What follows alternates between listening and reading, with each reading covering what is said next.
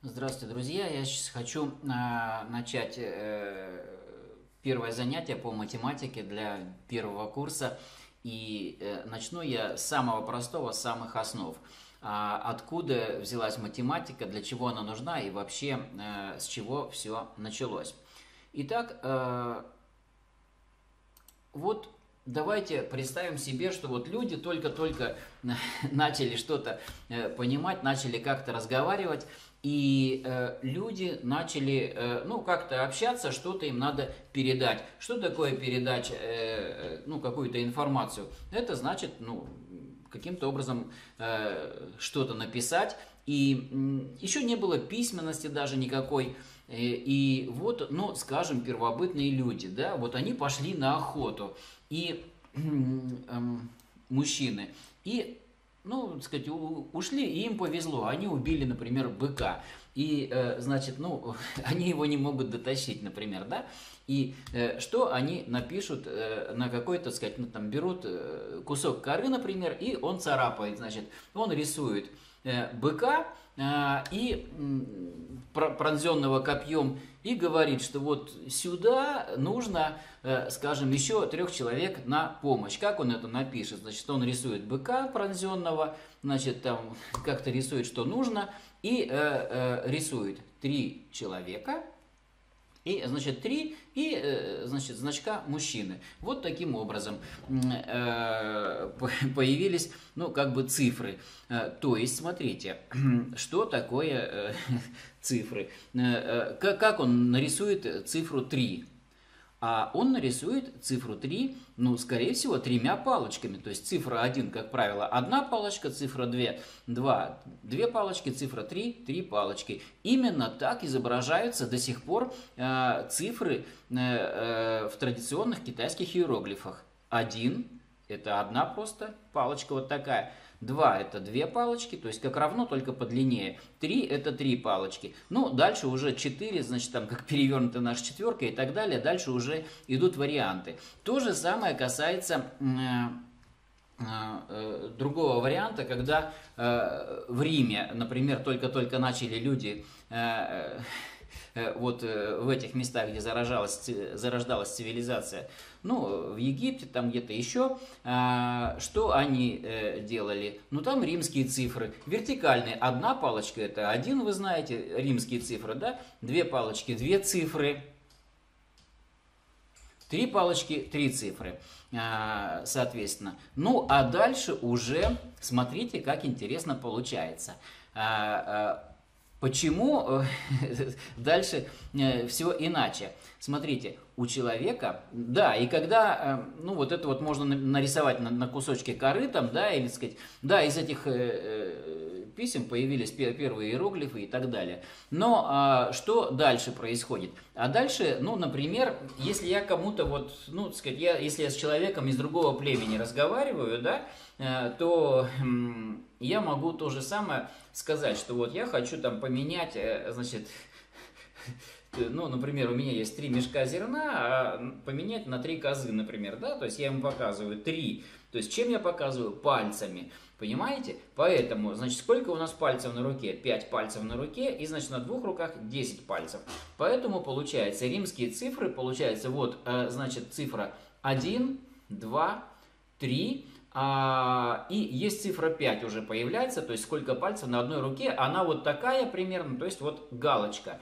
А, значит, цифра 4 это галочка минус 1, значит, вы помните, да? Цифра 6, соответственно, галочка минус 2. Цифра 7, а, галочка плюс 2 цифры. Цифра 8, галочка плюс 3 цифры. И цифра 9 это 10 минус 1, а цифра 10 это, помните, крестик, да?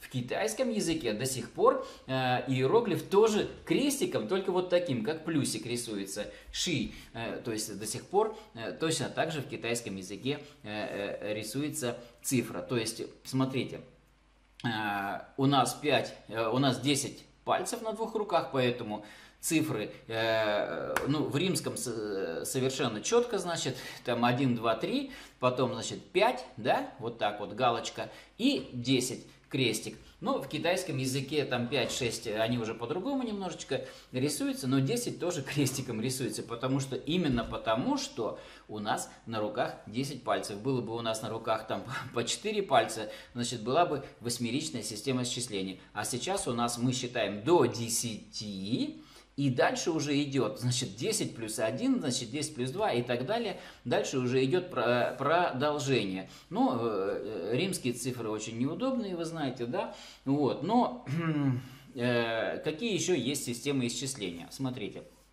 Уже э, ну, в более развитых каких-то сообществах появлялись жрецы так называемые, они смотрели на небо, и они заметили, что небо как бы, ну, эм, э, вращается э, вокруг, так сказать, ну, там есть север, центральная звезда, и вот как бы, ну, планеты, они поворачиваются с какой-то скоростью, и у нас есть Луна, наш спутник за год, то есть люди заметили, что меняются времена года, там зима, весна, лето, осень, и за год этих э, циклов лунных происходит 12 штук. Поэтому э, э люди решили, что число 12 это тоже магическое число, потому что оно связано с Луной. Многие поклонялись э, там, ну, Луна в качестве божества, и поэтому цифра 12 тоже э, была вот такая. И все, что связано с Землей, с Луной, здесь уже 12-ричная система исчисления. Мы знаем, что у нас значит, э, э, время суток меняется от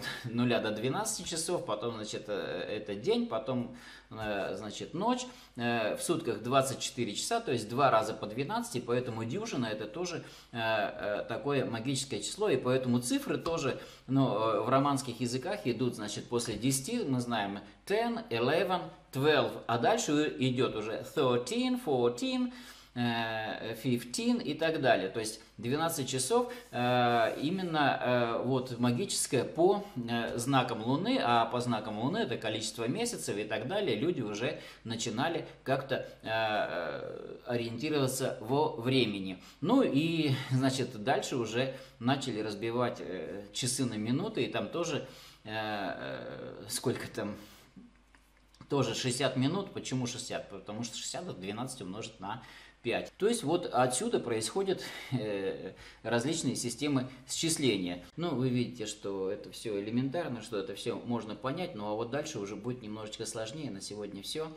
Спасибо, что вы думаете по этому поводу. Напишите и э, следите за следующими видео. Э, будет постепенно э, кажется, что это вот все очень-очень просто, но потом будет э, постепенное усложнение, и вы увидите, что очень быстро мы э, придем к э, пределам, придем к бесконечным последовательностям, к рядам и так далее. Ну и для чего нужна вся эта математика, все это очень кратенько я постараюсь объяснить всего за несколько занятий. Весь первый курс, программу, суть. Ну а на сегодня все. Спасибо за внимание.